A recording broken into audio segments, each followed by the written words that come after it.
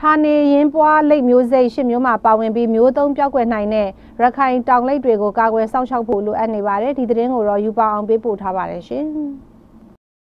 မြန်မာနိုင်ငံမှာကုန်းလိမ့်နဲ့ရေကြွလိမ့်မျိုးစိတ်ပေါင်း26မျိုးရှိပြီးဒီထဲက12မျိုးကမျိုးသုံးမဲ့အနေနဲ့ရင်ဆိုင်နေရတာပါဒီထဲမှာရခိုင်ပြည်နယ်ကပင်တထောင်အောက်တတော်တွေမှာကျဆားလေးရှိတဲ့ရခိုင်တောင်လိပ်တွေလည်းပါဝင်ပါတယ်လက်ရှိမြန်မာနိုင်ငံမှာရခိုင်တောင်လိပ်အကောင်30ဝန်းကျင်ရှိနေသေးတယ်လို့ဆိုပါတယ်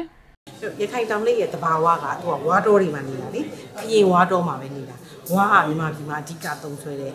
တတော်အတွက်ပစ္စည်းဖြစ်နေရလေနော်အဲ့တော့ဝါတွေကအမြဲခုတ်တယ်ပြီးသွားရင်ဝါတော်ကြီးကိုမီးရှို့ပြီးတော့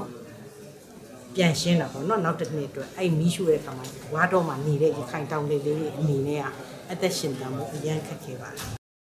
ရခိုင်တောင်လိပ်မျိုးစိတ်ကမျိုးပွားနှုံနေပြီးလက်ရှိထိန်းသိမ်းထားနိုင်တဲ့အနေအထားအရတဘာဝအတိုင်းကျင်လည်ကျစားတဲ့အနေအထားကိုသိရဖို့သူတေသနလုပ်ငန်းတွေလည်းလိုအပ်နေပါတယ်ရခိုင်တောင်လိပ်ကအခုလို့ရပါတော့ကျွန်တော်ကကျွန်တော်ရဲ့ရည်ချက်ကတော့သူတောထဲမှာကျဲလေးတည်တမှုတောထဲမှာပြန်ပြီးတော့မှတွတ်နိုင်မှုပဲအခုလောစတီတော့ကျွန်တော်ကသူတို့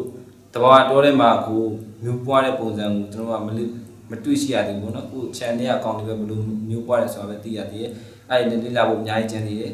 သူတို့ကတကယ်တောထဲမှာရှိတဲ့ population ကိုလည်းလေ့လာဖို့အများကြီးရှိတယ်ပေါ့နော်